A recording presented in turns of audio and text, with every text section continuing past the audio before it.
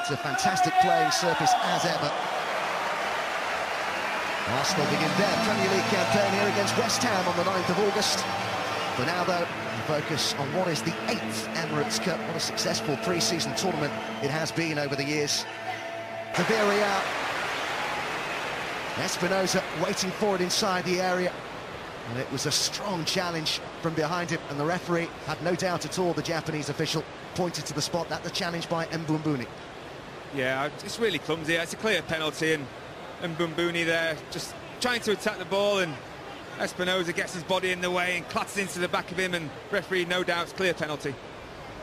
And the responsibility from the spot will fall to Bruno Soriano. Villarreal already with one win under their belts at the 2015 Emirates Cup. Into the corner, and Villarreal lead. The captain leading by example. Just that pause before he took it, looking to fool the goalkeeper, Gorgelin, who guessed the right way but couldn't get to it.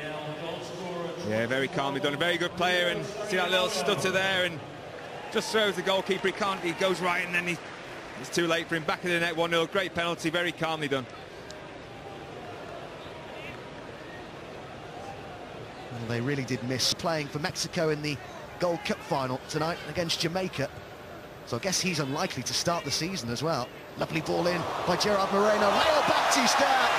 Those two combining to devastating effect. It's a lovely finish by Leo Baptistão. And I suspect that that's not the last time the Villarreal supporters will enjoy a goal crafted by those two this season. No, they deserve that. I mean, they've been excellent. We can't keep talking enough about them, but they're linked up again there, and they're just aware of each other, and it's a great ball out, and you see him again, he's always looking for the ball, and got a little bit lucky there with the break, but what a little reverse pass that is, and a little dink finish from Baptistão, and he deserves that. I mean, no strikers love scoring goals, but the work rate they put in and the effort, the running in behind, the link-up play, they want to score goals, so all-round performance, and he's capped it off with a goal, fantastic.